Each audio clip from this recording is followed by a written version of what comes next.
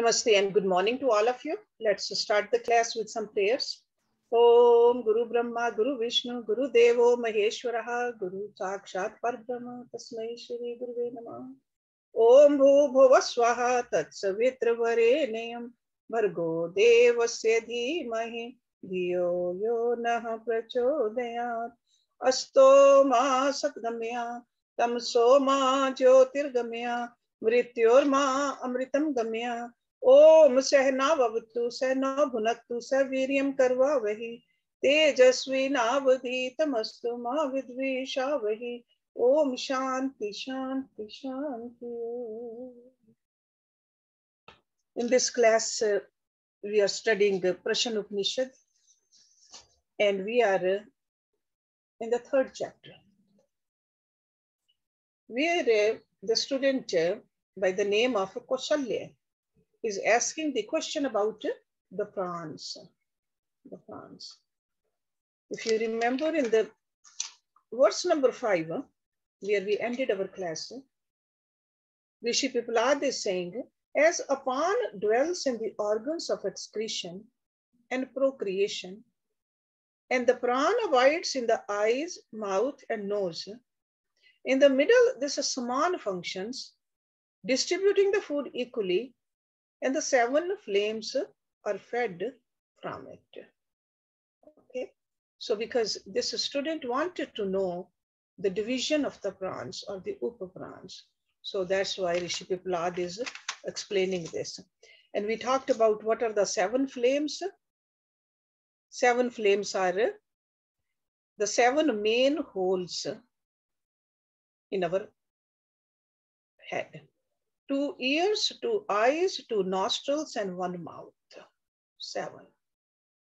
Okay, so that's what he's talking about. These seven flames emerging through the seven holes in the cranium.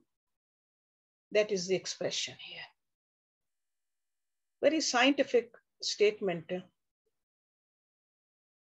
We all have these seven holes, and we can see how these flames come out of these seven holes too. Okay, so let's start the class uh, with verse number six uh, of chapter number three. Haridi hayesh atmaha atra etat ek shatam nadinam tasam shatam shatam ek kasyam dwa sapat ti dwa sapati prati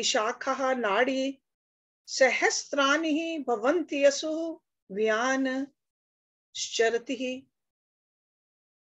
हरिदि means in the heart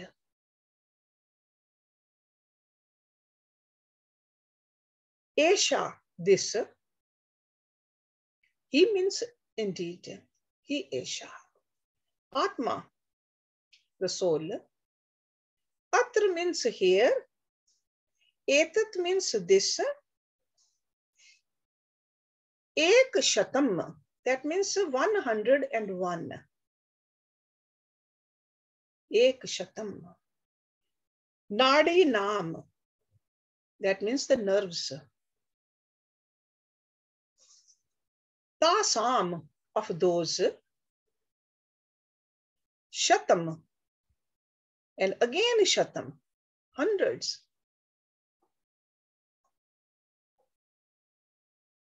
एक एक संख्या of each one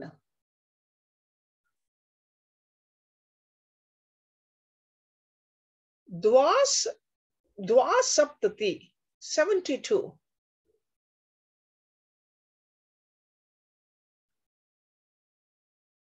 प्रति शाखा नाड़ी ससरानी in each thousand branch नाड़ीज और nerves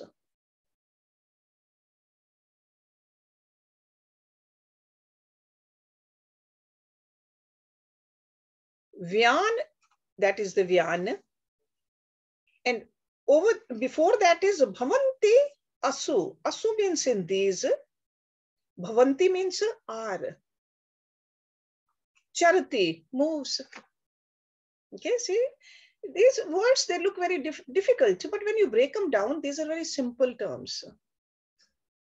This Atma is in the heart There three are a hundred and one nerves. Each of them has a hundred branch. Again, every one of these has 72,000 sub branches. In these, the Vyan moves. So that means Vyan moves in our body everywhere. Vyan. So this Atma word over here is used not in the sense of the supreme reality, being the all-pervading factor that is located at a particular point in the body. Atma is used over here to denote the ego center. The supreme consciousness, which is conditioned by the mind, intellect, and body, is called the ego center, like a jivatma. This is what he means over here. And when he says the prana resides in the heart, that doesn't mean that pumping heart, blood pumping heart. This heart really means the ego center over here. It's just like it goes everywhere. Because I identify myself with the legs also, the toes also, the hands also, the fingers also. So why he's using the word Atma over here? This is a style of the rishis. When something very deeply is, this is a shlok number uh, six in chapter three. To hold the attention of the students, uh, sometimes uh, the teacher uses uh, these terms to make sure that the attention comes back here. Otherwise, sleepily students just keep on listening and not paying attention. So we see that in a lot of Vedic scriptures, this style. And the word heart is used uh, the same way, uh, the heart. Pure consciousness reflected in the mind is the ego center. And if we say that ego is in the heart, it's almost uh, saying that my face is in the mirror. Okay, so make sure you understand this terminology. I'm sure by now you do know that. And this verse goes on to inform us that from this heart, 101 nerves branch off. Okay, this is like so many nadis, thousands and thousands of them. And that's where the prana flows. Okay, and we all know that nadis are the subtler than the finest capillaries in the circulatory system in our body. Arteries and the veins, we can detect these days. Nadis, still we cannot detect. It's very subtle, okay? So they even say they are astral tubes. Sometimes they try to uh, translate that into the English language. Nadi is an astral tube even though there's no physical tube. So divisions and subdivisions.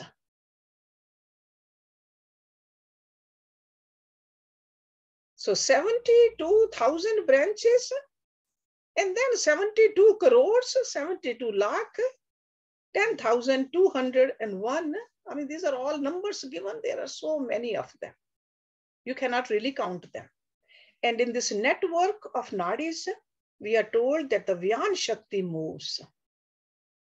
Charatihi, Vyanaha, like a permanent cyclone around the structure of a human body, constantly moving.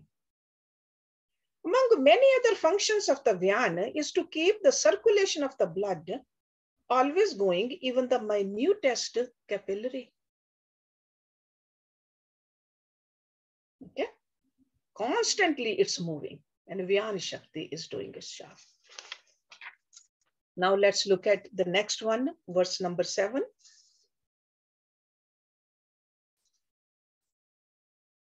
अथ एकः उधर्व उदानः पुण्येन पुण्यम लोकम न्यायति पापेन पापम उभ्याम एव मनुष्य लोकम so now he's talking about the Udana.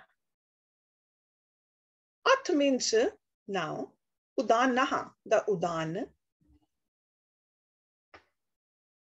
And ek or ekya, see, ath ekya udharvam. Ekya is one by one.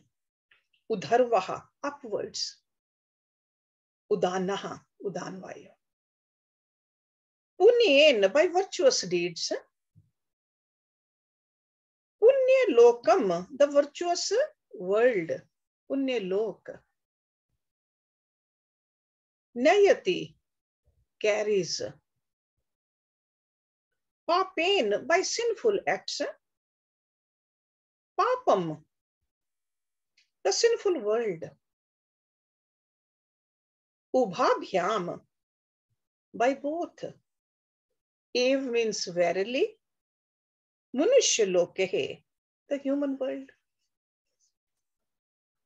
He says again, through one special nerve, the Udan, ascending, leads us upward to the virtuous world by good work, good work or good deeds, and carries us to the lower worlds by sinful acts, and takes us to the world of men when sin and virtues are mixed. Okay. So function of the udan in the in this body is something like a minister of transportation. It's like it transports us to certain place once we need to leave this particular structure of our body. So Udan is the one which provides the fuel or the motive force for the subtle body to move out of the physical structure. So it's not only to take us to the Devlok, not only to take us to the Narklok, just to get out of this body. That's why I said it's like a transportation system. At the moment of the death, when we need to leave. For the next field of activity. For the activity, we need a field. So where to move? And who takes us? Udan takes us. So the mind with the intellect, when it's divorced from the physical body, that means it's released from its cage, becomes free to move anywhere it pleases. Udan Pran is the one which functions. Okay. For example, if you're sitting over here and we want to go somewhere, what do we use? So sitting over here, we can use our mind to go somewhere. But when we want to just leave this body and go somewhere, then Udan current is the one which works, or Udan energy or Udan Pran. Okay, that is the time when we want to completely re get released from the body. That is the time. But over here, he's mentioning that at the time of the death, as a perfect resultant of all the different kinds of thoughts. So he's using the punya and the pap over here throughout our body. Whatever is a fit for us, that's where we'll go based upon our own karmas. It will take us towards that arena. So, but the motive force by which the thought reaches its object of thinking is provided by the Udan power in us. Udan. So, Udan is the cultural resultant gained during our mental life. If our thoughts all through our life are low and gross, it's almost like animal instincts, selfish wishes, low motives, certainly the resultant would be a pull on the mind to move towards animal life. And that's why the scripture is saying that it is the Udan that will lead us to the lower realm of the animal life. that kind of a life desired by us. But if on the other hand, the thoughts are higher and nobler, the consequent greatness of culture in us would be like a pulling us towards the higher planes of a greater evolutionary status and existence. So whether we go to the Punya Lok or the Pap Lok. But if there's a mixture of that, Punya and Pap both, will come back here again. Because we have been given the power to discriminate what is right, what is wrong. Power to discriminate is not in the animals or in the plant kingdom. Lions must necessarily kill their kill the other animals like a deer or some other animal instinctively to fill their belly.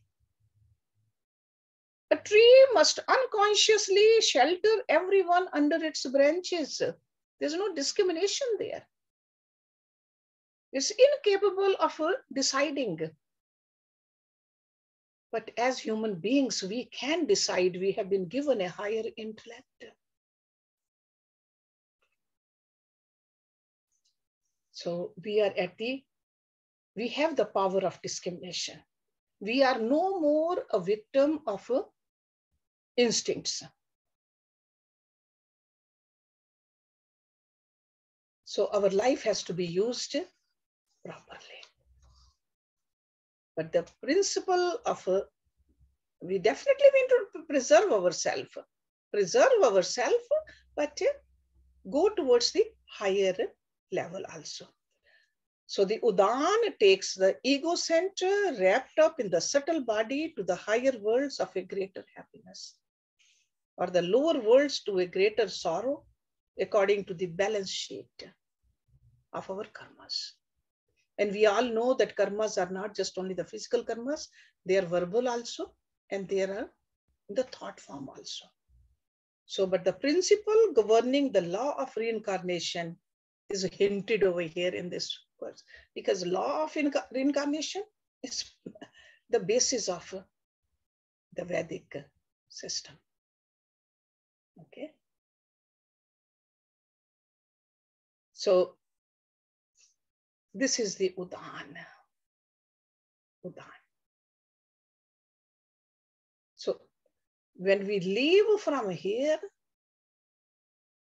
from this body, this is the Udan Pran. See, Vyan Pran was functioning everywhere in us.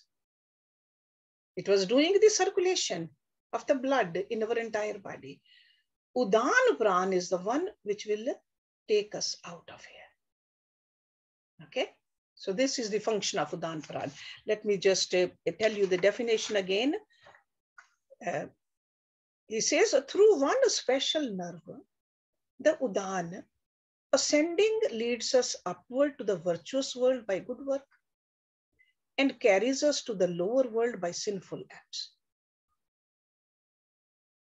So whether we go to the heavens or we go to the hell or we come back on this earth, it is the Udan, basically. Okay? and takes us to the world of men when sin and virtues are mixed.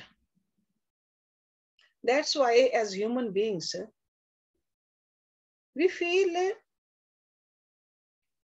there's some good prarabdha we came up with and some not so good. There's some good days, not so good days. It's a mixture. Pap and punya, dono ka mixture as human beings. If we had 100% good, good deeds, we'll be devtas. Okay, some good, some not so good. But Udan Pran is the one which helps us get out of this body. So in simple terms, that's what it is. Okay. So now let's look at the next one, number eight. Aditya ह वै बाह्या प्राण उद्येत एष हि annum चाक्षुषम प्राणम अनुगृहनाना पृथिव्याम य देवता स एषः पुरुषस्य अपानम अवष्टभया अंतर यदा काशा स समानो वायुर्व्यान पतित्य दसान ह वे, वेरली। बाहे द प्राण द प्राण।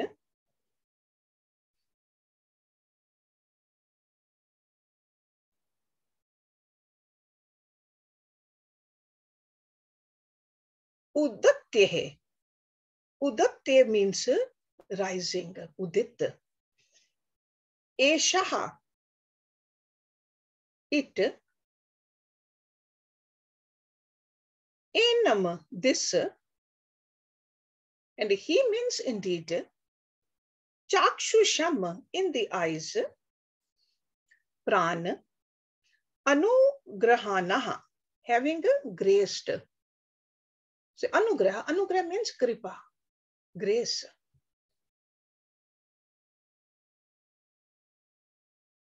Prithivyam of the earth. Ya means which? Devata, the God. And over here, God means the energy.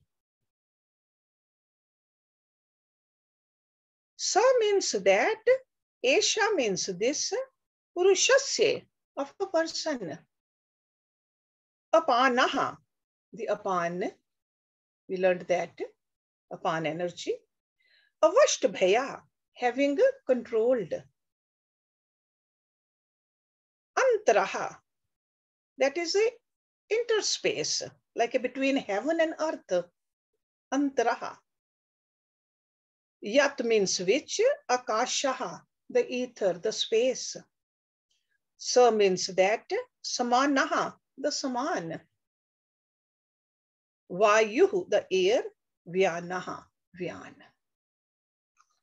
The sun is verily the cosmic pran in the eye. The goddess Earth attracts or controls the Apan towards her. The space between the earth and the sun is the Saman. The wind is the Vyan. We have already seen before. I told you that Samasti and Vyasti is like a microcosm and the macrocosm. Whatever is inside, the same is outside also. So first he introduced us uh, the energy inside, uh, the subdivision of it. Now he is subdividing the macrocosm for us. Okay. So whatever is outside is inside. Vyasti is the microcosm, Samasti is the macrocosm. So there must be in the outer world of totality representing our inner personalities and the activities within us also. So the Piplad Rishi is suggesting here in the cosmos where we can see the same pranic forces. The same pranic forces which are functioning inside our body. But they are in the outside, they are enlarged and they are extended. That's why it's called macro. And this is like a typical example of upasana. Upasana. Upasana is a technique of self-integration. In the Vedic period, this, these kind of techniques were very popular. So Upasana is a method by which we seek to see an idea with a greater message in an ideal. Okay, so that ideal is like a in a simple thing, simple looking thing. You see something, I mean, something which looks so insignificant, but you see something so large in it. That's what the upasana is. So subjectively, the rishis, they have indicated to us the various centers of activity between the structure which we have inside our body. But now he is just telling us outside also the same thing. So God or the energy is not only over here, it's outside too. The same thing Lord Krishna told Arjun also. I am in the sun also, I'm in the moon also, I'm in the Ganga also, I'm in the people also. I'm everywhere. Upasana and bhakti, they are the same thing. Because through the upasana, we reach towards the self experience. So no matter how the short the Upanishad is, they always bring some kind of a upasana method for us so that we gain more and more love for that ultimate. Whether we want to call it Brahma or Paramatma or Ishwar or Atma. It's the same thing. So we cannot leave off the upasana, even in the Upanishads. Okay? Through the upasana, we can uh, have a steadiness in our mind. Or we can trim our intellect properly. Consciously, it needs to be practiced. So attempt to discover the individual in the total. It's like a me in thee. This is a process of bhakti.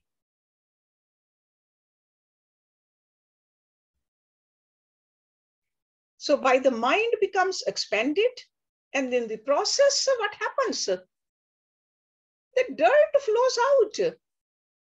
Otherwise, we are only obsessed with this body. I see the pran in my body, I see the atma in my body. But over here, he is saying the same thing is out there too. It's almost like a, technique where a cotton is uh, cleaned by carding it. Our generation has seen that. So such a purified mind capable of expanding beyond ordinary capacities can renounce its gross density and it can soar higher and greater heights of God vision and self experience. This is what he's trying to do over here for us. Visualizing pran over there too, not just pran only inside the body.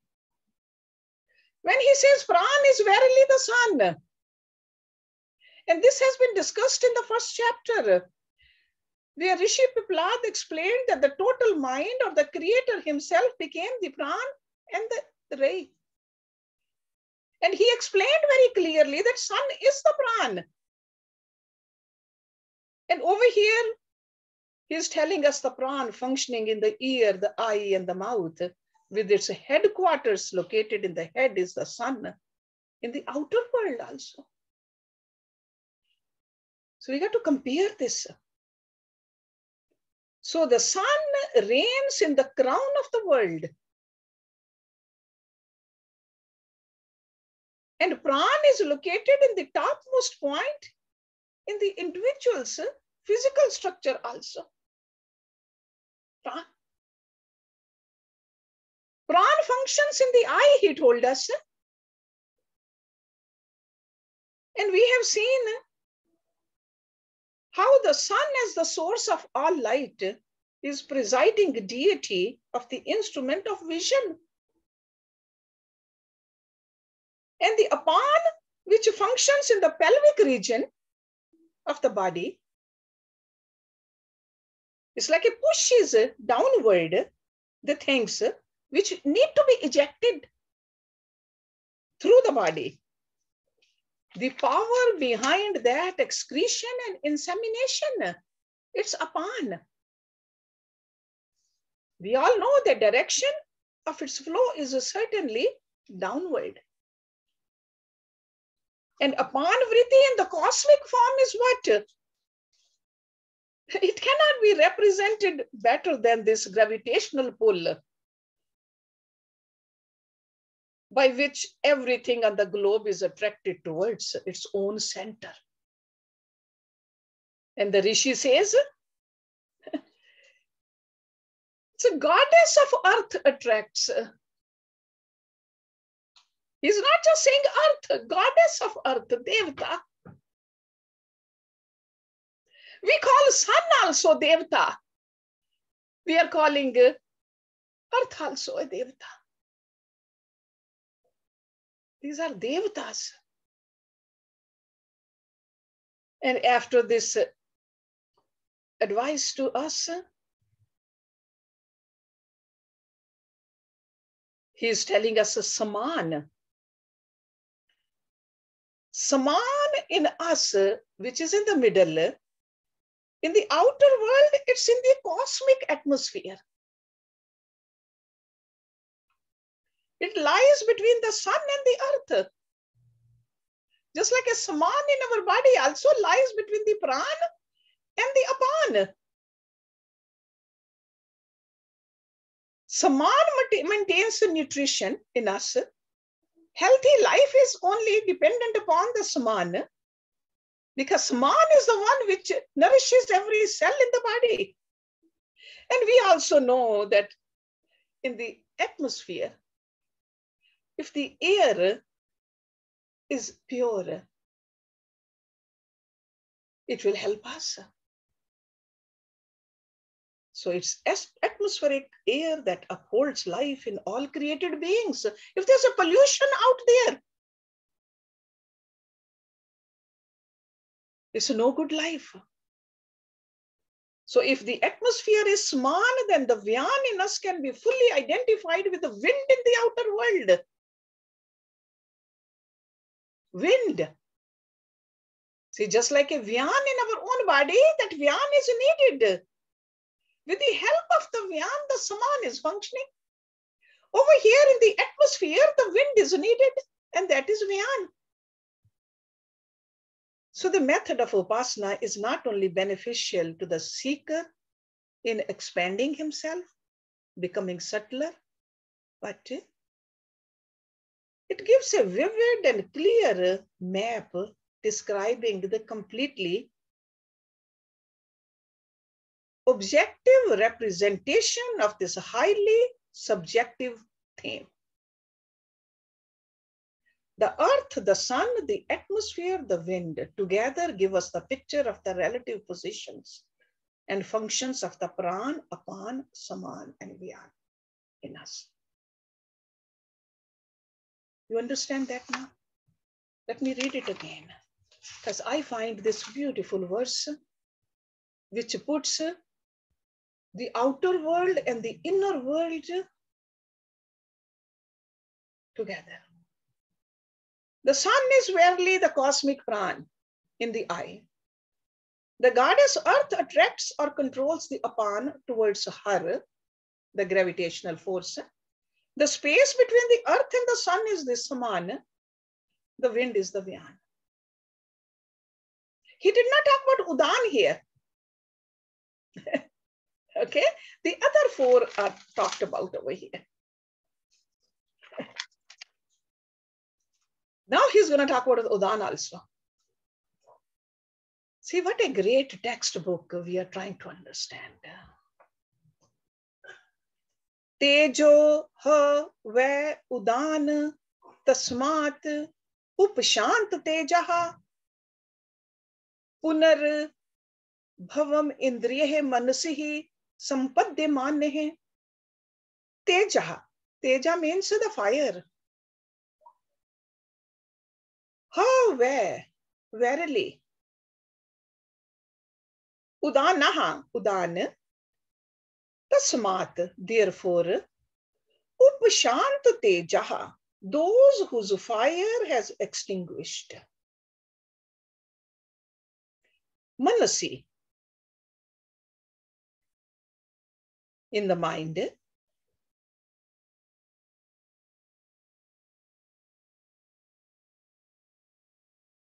And punar bhavam, rebirth. Indriye, with the senses. And sampadhyamane, absorbed. Okay. The external fire indeed is Udan. Therefore, he in whom the flames are gone out enters another body with the senses absorbed in the mind. We talked about uh, this yesterday also a little bit when we were talking about the subtle body. So the external fire indeed is Udan. Therefore, in he in whom the flames are gone out enters another body with the senses absorbed in the mind. So fifth upapran or the fifth category according to the function of the pran is udan. Udan. So in this verse, he is uh, explaining it to us. The udan in the outer world is that energy which supplies the motive power for an ego center with its subtle body to move out of the physical structure to another form. Okay. Nothing in this outer world can be explained this function of Udan as well as uh, Rishi Pipalad has done it. He said it's a fire. Fire. Fire is invoked on in different occasions by different means and no two flames look alike in the manifested fire. Sometimes the form is different, sometimes the intensity is different based upon the fuel which we use. As long as the fire is supplied, the fire at the given spot has a manifested shape. And it can just provide the purpose for this world. But when the fuel is burnt, and the fire finds no more material to burn, it has consumed all that fuel. It passes from its manifested form into unmanifested form. So fire element does not go away. It only changes. So similarly, when a subtle body finds that it has no more experience to gather in a given physical form, that the subtle forms throws away its physical structure. This body is no good. It cannot serve its purpose. That Udan moves that soul and the subtle body along with it to another body. It departs. And with reference to the body, this condition is called the death of the body. And we all know that the subtle ego centers set in the subtle body is conveyed to its next field of activity. And he said, it's called like a log. And the energy called the Udan. Udan. And then he says, with his senses absorbed in the mind. Senses, these are not the sense organs, but the power behind the senses absorbed in the mind. At the time of the death, it is universally observed that the dying person slowly and steadily loses all the sense activities and capacities also can't speak, can't hear, can't see, can't smell, can't feel. This is not because of the in instruments of the cognition have become defective, but the power or the strength of perception, meaning the pranic vitality in the sense organs has withdrawn from these sense organ centers. Okay, so Devtas, they are ready to leave.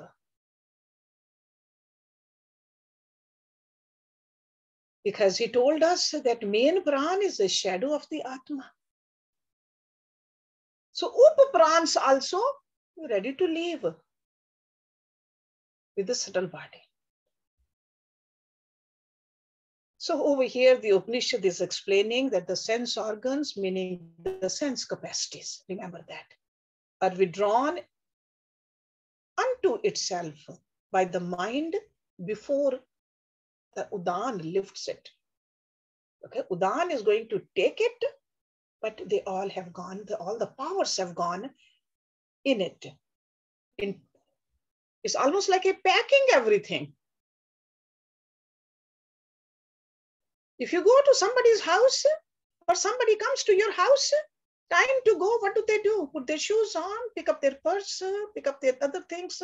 We know they are ready to leave. Right? The same thing over here. Collecting everything, all the powers, ready to go.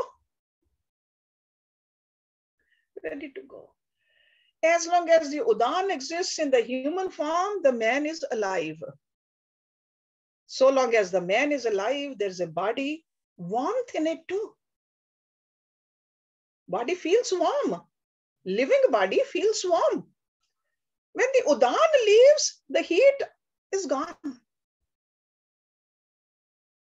Dead body is a cold to touch also. So we can say that dead body is a thing in which the flames have died out the, those flames which were working, they have died out. Or we normally says the fire has gone off. Right? See, look at it, how clearly these rishis, they talk about this part of life, which is so certain. Average person doesn't want to, or other philosophies, they don't want to deal with it. But our rishis, from the past, present, future, they know exactly what's happening. What a great philosophy. I wanted to finish this, but somehow there are three more verses. So we'll continue with this next time because I know you have a lot of questions also. So let's do the Shanti mantra.